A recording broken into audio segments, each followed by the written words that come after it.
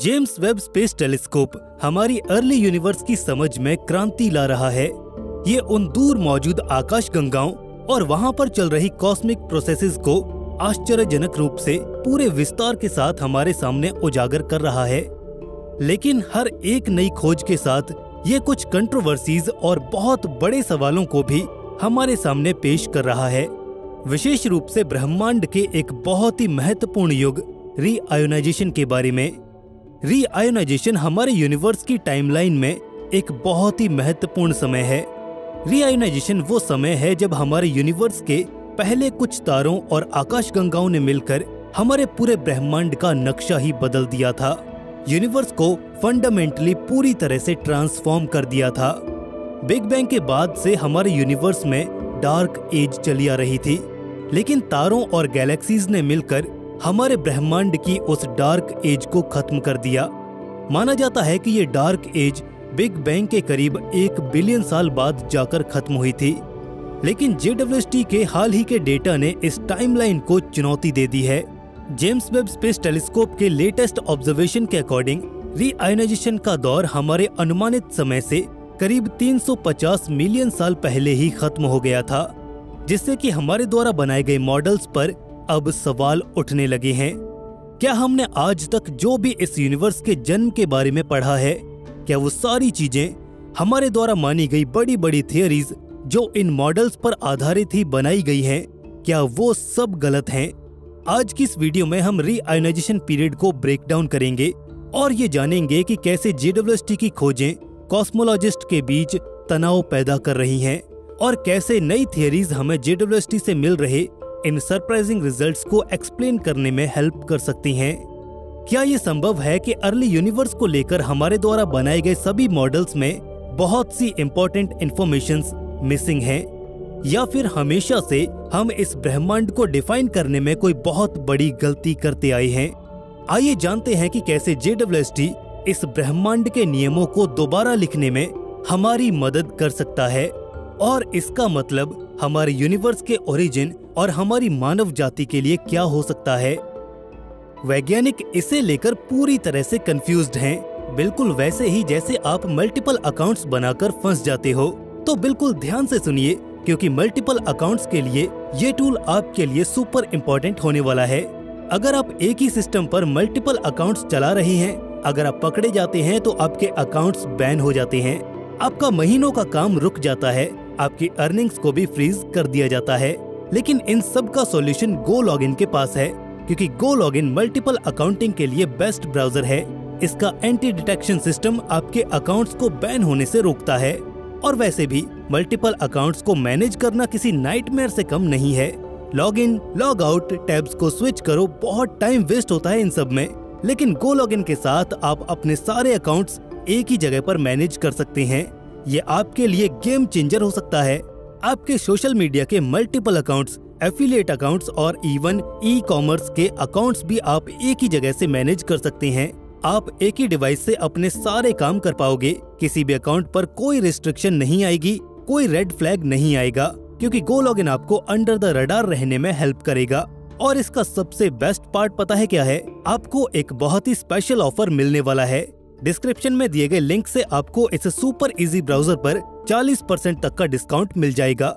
Seriously, अगर आप अपना टाइम सेव करना चाहते हैं, अकाउंट्स को प्रोटेक्ट करना चाहते हैं तो गो लॉगिन से बेहतर आपके लिए कुछ भी नहीं है, क्योंकि गो लॉगिन मल्टीपल अकाउंटिंग के लिए बेस्ट ब्राउज़र है। तो चलिए यहाँ पर तो आपकी कंफ्यूजन खत्म हो गई, लेकिन जे की फाइंडिंग्स हमें और भी ज़्यादा सरप्राइज़ करने वाली हैं। What is the of reionization reionization period हमारे ब्रह्मांड की कॉस्मिक हिस्ट्री में सबसे महत्वपूर्ण पीरियड्स में से एक है। ये बिग बैंग के लगभग 100 मिलियन साल बाद शुरू हुआ था, जब ब्रह्मांड में पहले तारे और पहली कुछ गैलेक्सीज का निर्माण शुरू हो गया था।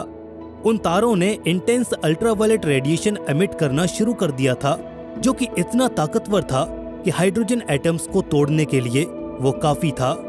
इस रेडिएशन ने उन शुरुआती हाइड्रोजन एटम्स को प्रोटॉन्स और इलेक्ट्रॉन्स में तोड़ दिया और ये रीआयोनाइजेशन की प्रक्रिया धीरे धीरे पूरे यूनिवर्स में फैल गई, जिससे हमारा ब्रह्मांड एक न्यूट्रल स्टेट से आयोनाइज्ड कंडीशन में चला गया। जो ब्रह्मांड पहले ठंडा हुआ करता था, अब वो गर्म हो चुका था। हाइड्रोजन हमारे पूरे ब्रह्मांड में सबसे ज़्यादा पाया जाने वाला एलिमेंट है। इसीलिए रीआयोनाइजेशन पीरियड के दौरान ब्रह्मांड में आने वाले चेंजेस बहुत ही गहरे थे। जो लगभग इसमें मौजूद 75 प्रतिशत मैटर को सीधे तौर पर प्रभावित कर रहा था। इस पीरियड के दौरान जो गैलेक्सीज बन रही थी, उनके बीच मौजूद गैस पूरी तरह से ट्रांसपेरेंट हो चुकी थी, जिससे कि लाइट को बाहर निकलने का एक मौका मिल चुका था। और इसी दौरान लाइट पहली बार इस यूनिवर्स में स्वतंत्र रूप से ट्रेवल कर पा रही थी। ये परिवर्तन बहुत ही क्रिटिकल थे, क्योंकि आज हम जिन गैलेक्सीज को देखते हैं, इसी ने उन गैलेक्सीज उन आकाश गंगाओं को आकार दिया है और ये निर्धारित किया है कि ब्रह्मांड में ये संरचनाएँ तेज़ी से बढ़ सकें। यानी रीआयोनाइजेशन पीरियड के दौरान हमारे ब्रह्मांड ने उस आकार को लेना शुरू कर दिया था, जिसे आज हम देख पा रहे हैं। रीआयोनाइजेशन का ये दौर तब खत्म हुआ, जब हमारे पूरे ब्रह्मांड में मौजूद हाइड्रोजन पूरी तरह से आयोनाइज्ड नहीं हो गई। और हमारे एस्ट्रोनॉमर्स का ये मानना है कि ये फ़ेज़ बिग बैंग के करीब करीब एक अरब साल तक चला होगा। लेकिन हाल ही में जेडब्ल्यूएसटी द्वारा की गई खोज से हमें ये पता चला है कि रीआयोनाइजेशन का वो दौर हमारी सोच से कहीं पहले खत्म हो चुका था। साढ़े पाँच सौ से लेकर साढ़े छह सौ मिलियन साल पहले ही रीआयोनाइजेशन का वो युग खत्म हो चुका था। और यदि ये सच है तो शुरुआती यूनिवर्स के हमारे मॉडल्स को एक बड़े पैमाने पर सुधारने की ज़रूरत है। और ये हमारे लिए एक बहुत बड़ी परेशानी भी बन सकता है। हमारे लिए ये नए रिजल्ट्स एक्साइटिंग तो हैं, लेकिन ये किसी पहेली से कम नहीं है।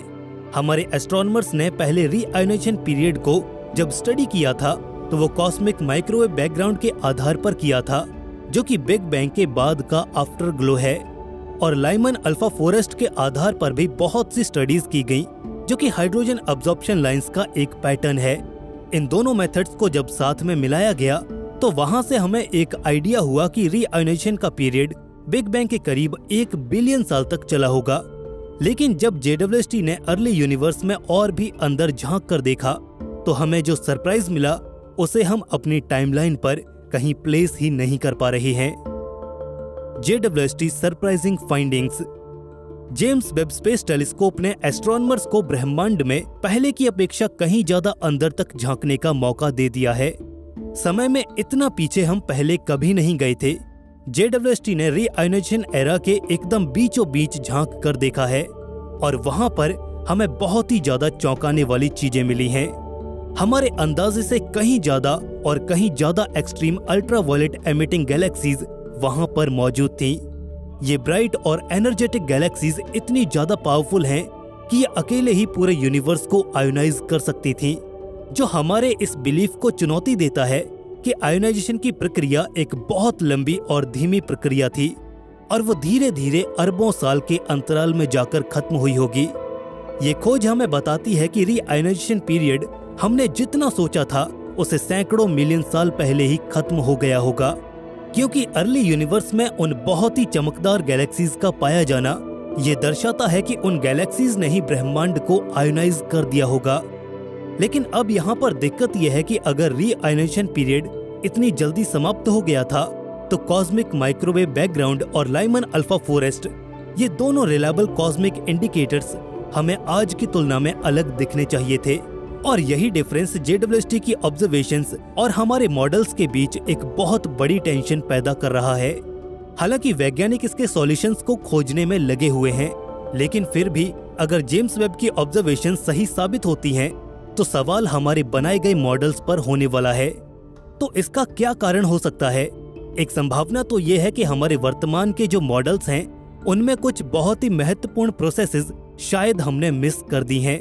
जैसे कि रिकॉम्बिनेशन जहाँ पर आयोनाइज्ड प्रोटॉन्स और इलेक्ट्रॉन्स दोबारा से नेचुरल हाइड्रोजन का एटम बनाने के लिए कंबाइन हो गए थे।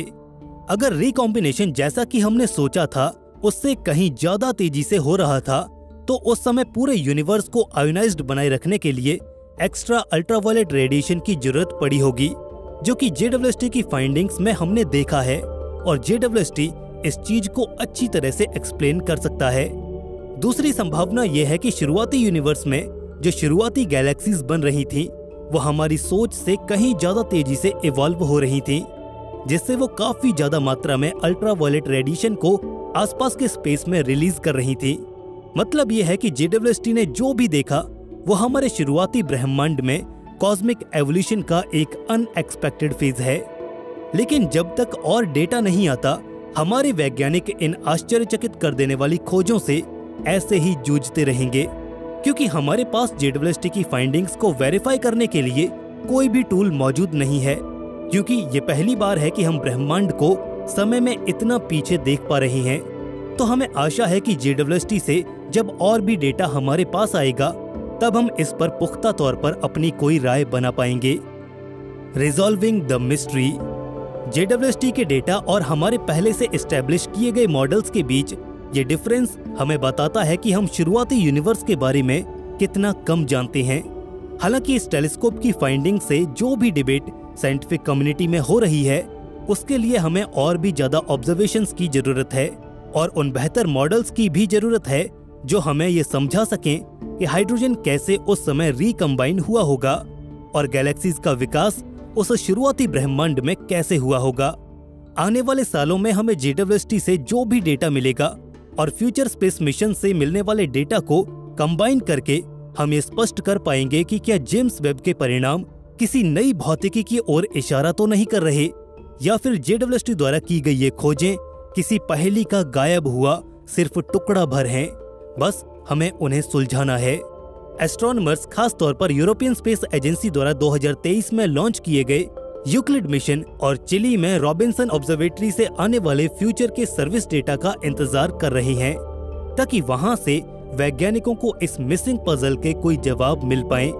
हालाँकि इसके साथ ही एस्ट्रोनमर्स हमारे एग्जिस्टिंग मॉडल्स को भी दोबारा से देख रहे हैं कि क्या हमारे मॉडल्स में ही कोई कमी तो नहीं है?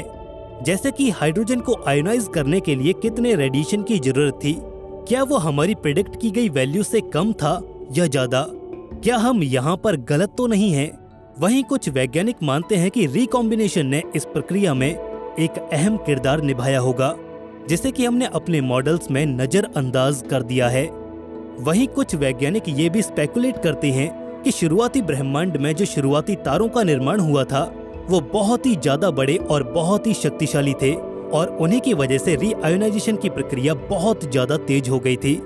लेकिन एक बात निश्चित है कि जेडब्ल्यूएसटी ने ब्रह्मांड की हमारी खोज में एक नया अध्याय खोल दिया है और रीआयोनाइजेशन के बारे में ये बहस अब वर्षों तक जारी रहेगी।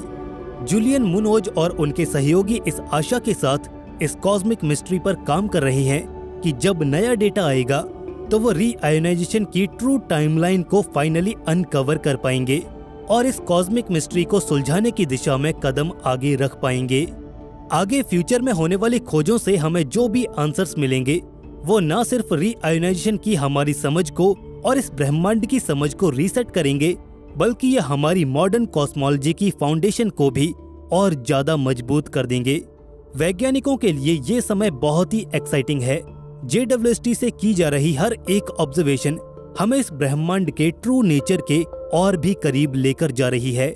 हम अब इसे सही मायनों में समझ पा रहे हैं और इसे देखकर लगता है कि जेम्स वेब अपने इरादों में पूरी तरह से कामयाब होता नज़र आ रहा है।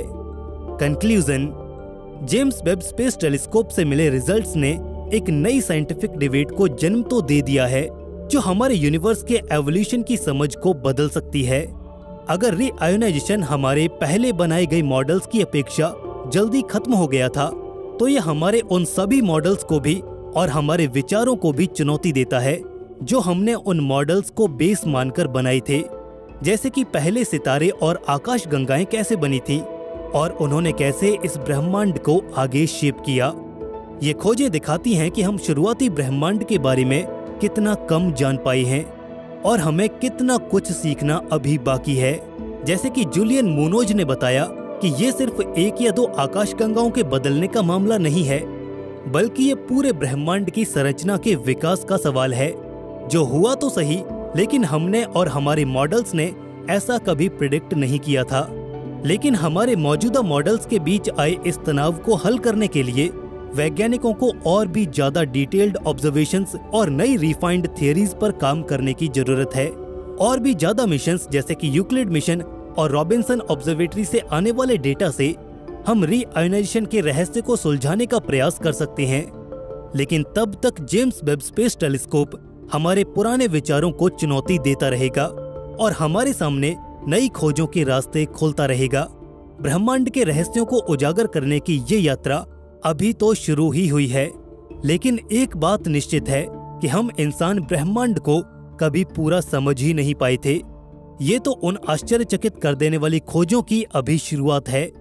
जे डब्ल्यू से हमें अभी बहुत कुछ सीखना बाकी है। दोस्तों, आपको क्या लगता है, क्या शुरुआती ब्रह्मांड के बारे में अभी हमारी समझ अधूरी है? इस पर आपकी राय क्या है, हमें नीचे कमेंट सेक्शन में ज़रूर बताइएगा। आपको ये वीडियो कैसा लगा? अगर आपको ये वीडियो पसंद आया तो इसे लाइक और अपने दोस्तों के साथ शेयर ज़रूर कीजिए। ऐसे और वीडियोस देखने के लिए हमारे चैनल को सब्सक्राइब करके बेल नोटिफिकेशन को इनेबल ज़रूर कर लीजिए। दोस्तों, जल्द मिलेंगे ऐसे ही एक और नई इन्फॉर्मेटिव वीडियो के साथ। तब तक के लिए स्टे क्यूरियस बी हैप्पी नमस्कार।